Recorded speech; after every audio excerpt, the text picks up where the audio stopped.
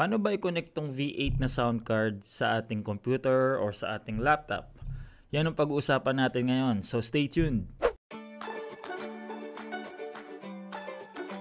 Okay, yung video na to is para dun sa mga beginner lang or ngayon lang gagamit itong V8 na sound card. Kung matagal na kayong gumagamit nito, just skip this video. Malamang alam nyo na yung sasabihin ko dito.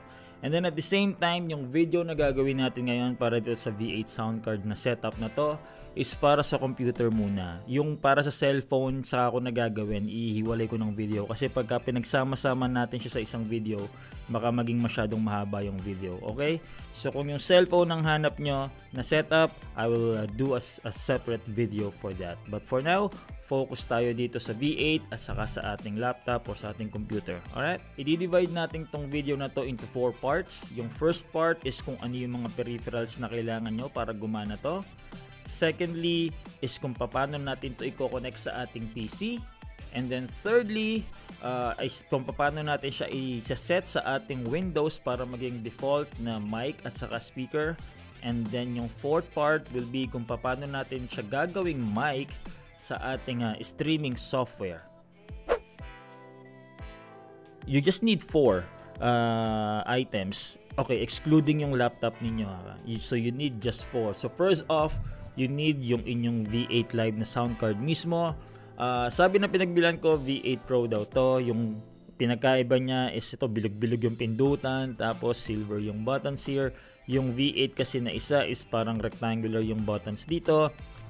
But to be honest to me, they look the same and they function the same. So kung hindi man gato eksakto yung V8 na gamit ninyo, that's okay. Second item na kailangan natin will be yung charging cable na kasama nitong V8 pag binili nyo. So itong uh, charging cable to is there's nothing special here. It's just your micro USB to your USB cable.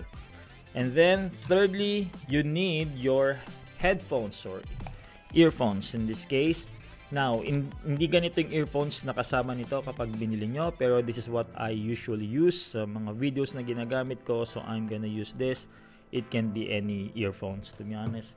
And then yung fourth item of course will be your mic. So in this case I'm just gonna use my Audio Technica dynamic microphone. It can be any other microphone.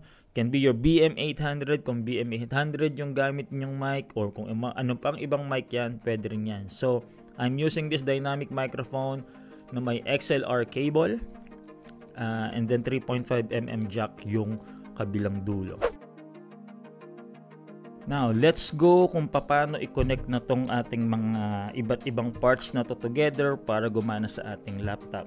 So, ang unang-una nating i-connect is um, unahin muna natin yung mic, no? So, this is my mic here. I am just gonna connect that dito sa nakalagay na condenser mic.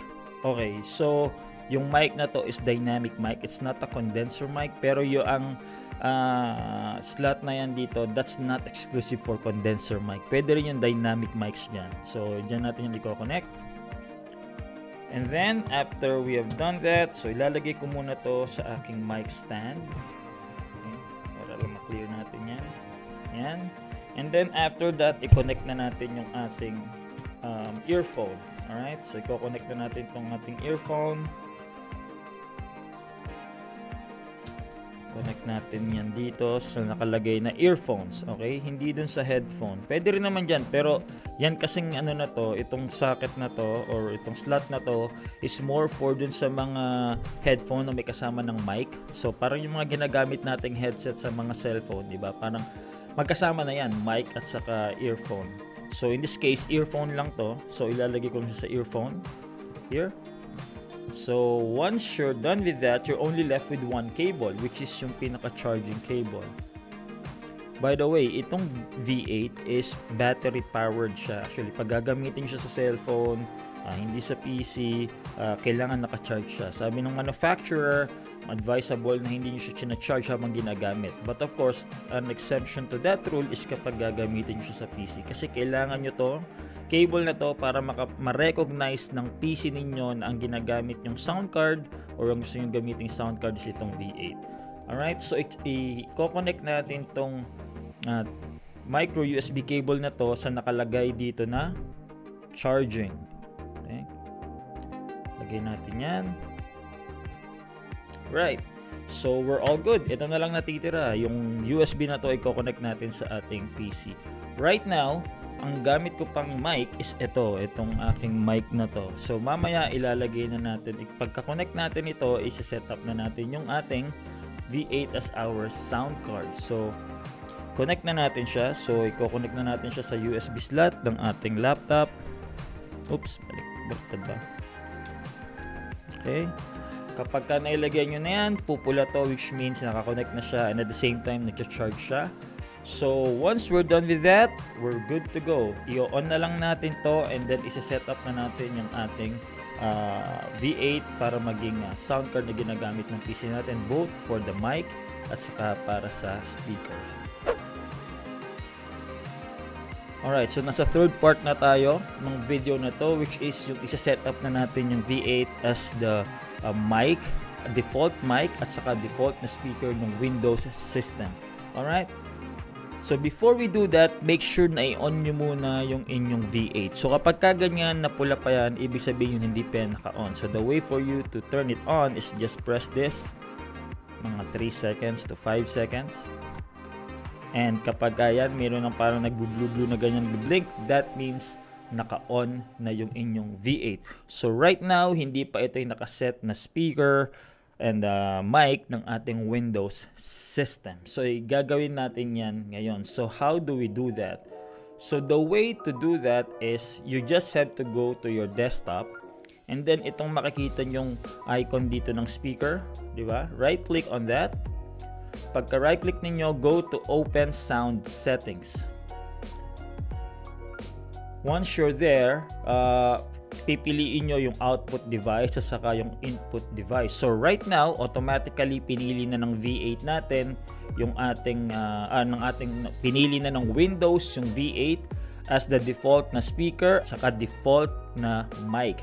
So just in case uh, hindi niya pili yan, hindi pa niya nakalagay, you just have to click this arrow here and then piliin niyo yung V8 sa speakers dito sa output and then sa the same para sa input no? Click nyo lang yung arrow and then piliin nyo yung V8 okay? So once you're done with that you can already close this.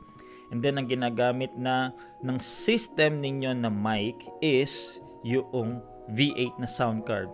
Alright? Now the thing is I'm still speaking through this mic at ito pa rin yung kina-capture ng aking streaming software or recording software in this case yung OBS Studio kasi manually kong in-input na ito yung mic na yon. So yan yung re-remedyohan natin or kung paano natin i-adjust sa ating fourth part ng video na to.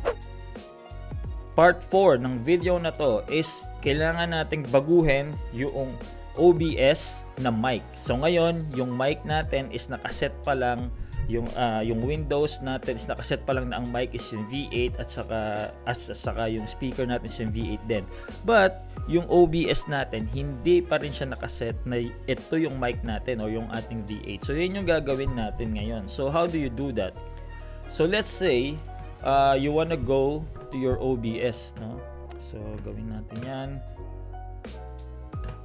Okay? So, papakita natin kung paano yan babaguhin. So, nandito na tayo ngayon sa OBS. Ngayon, ang ginagamit nating mic is ito pa. Ito pang nasa harap. Hindi pa yung uh, V8. So, how do we do that? Punta kayo dito sa audio mixer ng inyong OBS. And then, i-click nyo yung, hanapin yung mic or aux, mic slash aux na nakalagay. And go to that gear icon. Click nyo yan. Pagka-click nyo ng gear icon, punta kayo sa properties. Pagka-click nyo yan, mamimili kayo ng device na gusto ninyo. So right now, naka-manually select kasi yung microphone Razer Siren Mini ko na mic which is this one. Now, babaguhin natin yan para maging V8 natin by doing this. Click on microphone V8. Paggawa ko niyan or pagka-click ko niyan, hindi na ito yung mic na magagamit ko. So I need to change to our V8, uh, yung mic na ginagamit natin na connect sa ating V8.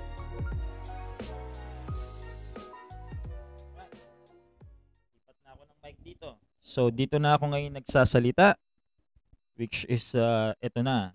Ito na yung mic natin nakakonect sa ating V8 na sound card, right? So, kung mapapansin ninyo, ito na yung ating setup.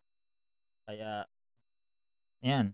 So, pakita natin no, na ito na nga talaga yung mic na ginagamit natin sa pamagitan ng uh, pumindot-pindot tayo ng mga kung ano-ano dito or kalikutin natin tong V8 natin para makita natin na gumagana nga siya. So para maipakita natin na nakakonect na nga tayo sa V8 at ito na yung ginagamit natin na sound card, kalikutin natin tong V8 natin. So maglagay tayo ng echo, sound check, sound check. Ayan, napapansin nyo, nagbabago yung sound. Naririnig ko rin. So one thing about uh, this V8 na sound card, may, monitor, uh, may monitoring capability siya. So naririnig nyo yung nangyayaring sound na minimix nitong V8 na sound card. So, andito siya. Narinig ko may echo. Bawasan natin. Then, uh, meron na rin siyang EQ, itong treble and bass dito. Kung napukulang kay sa bass na uh, output ng mic, lagyan nyo. Oh, and same thing for treble. So, may EQ na rin siya. And then, of course, you have your different uh, sound effects here. So, pindot tayo just to show na gumagana nga siya uh, and uh, nakaka-capture pa rin nung recording natin yung mga sound effects.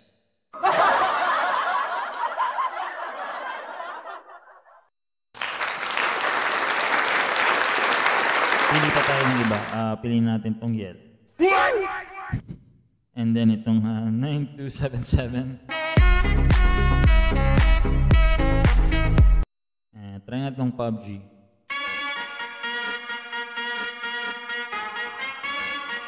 Alright. Okay, so ayan yung mga sound effects gumagana lahat, di ba? Ngayon, pag-usapan na lang natin since nandito na tayo kung ano yung para sa mga ibang volume dito, itong backing track. So just in case may gusto kayong i-play na video, let's say a YouTube video, uh, na gusto nyong i-cover, let's say parang video ka siya, na gusto nyong kumanta habang nagpe-play yon, ito yung volume para doon. Itong rec- record o itong record na knob dito is yung volume para pagka kung anong labas nung uh, sound from here dun sa recording or streaming software niyo. For example, pag nilagay ko to sa zero, kahit naka-max yung mic ko at naririnig ko yan dito, walang maire-record na sound kasi nga naka-zero dito. So if I do that, so ngayon nandyan yan, di ba? Hihinaan, magsasalita ako ng just straight na kung ano man and then mapapasin nyo habang binababaan ko yung volume nito, bababa rin yung volume. So let's try. One,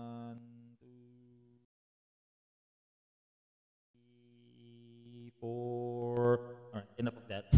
so yun lang yan, yan yung para sa record. And then yung monitor is yung para sa naririnig yung uh, sound, both the mic and the backing track, kung gaano kalakas yan. Alright, so you know what, let's try na maglagay ng backing track dito. Maglalagay lang ako ng isang YouTube video dito para makita nyo or marinig nyo na naka-capture din siya at the same time. Alright? Okay, so nakapag-set up na tayo ng video. So magpe-play tayo ng isang YouTube uh, na uh, music. Hindi tayo mamimili ng mga kanta or yung parang ano uh, mga talagang kanta kasi baka ma-copyright tayo. So uh, pumili lang ako ng isang no copyright na music. So ito man lamang naririnig ko madalas sa mga ibang uh, vlogs o na video. So I just wanna show to you na pwede pa rin gumana to habang umaandar yan. So kung, yun nga, kung gusto nyo mag-video okay, this can be a good solution. So, let's just say, I'll play this. Even yung reaction videos, pwede nyo rin gamitin na ganito. Di ba? So, I'll just play this. Medyo hinaan ko lang. Yan. So, naririnig nyo siya, di ba? So, sabi natin, ang nagko-control ng sound niyan para sa pag uh, ano is itong backing trap. Of course, pwede nyo rin gamitin yan dito. No? Pwede nyo rin baguhin mismo dito sa video. Diba? Sa, yan, lalakasin nyo na siya. But this is also a mixer na kung saan pumapasok ng sound na yan. So, pwede nyo rin siyang gamitin. Yan. So, pag hininaan ko tong backing track na volume, hihina yung sound. Pag pagka nilaksan ko to, lalakas yung sound, di ba? Alright. So, yeah, just to show you na parang dyan yung volume na. And then at the same time, gumagana pa rin yan. And, of course, gumagana pa rin yung sound habang may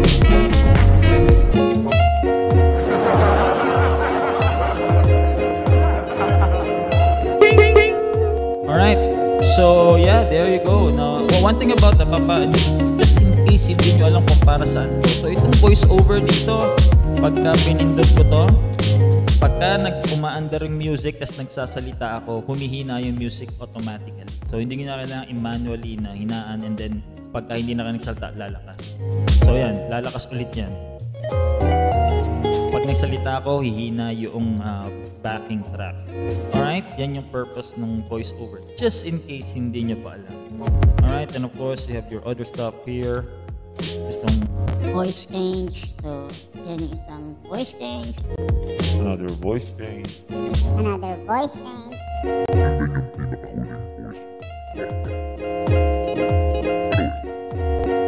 Alright. So that's it, no? That's it for this video.